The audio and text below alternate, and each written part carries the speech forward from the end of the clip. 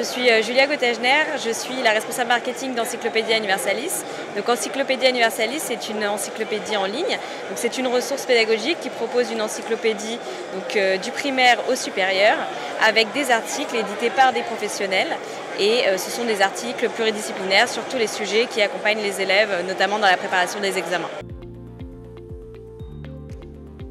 Alors, les actualités d'Encyclopédia Universalis, c'est cette année la fusion euh, de notre site collège et notre site lycée.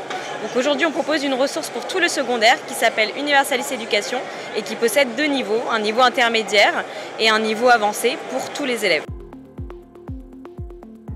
Alors, euh, pour les impacts sociaux de la ressource, euh, je dirais c'est de proposer une égalité des chances, puisque la ressource est accessible à tous les élèves dans l'établissement.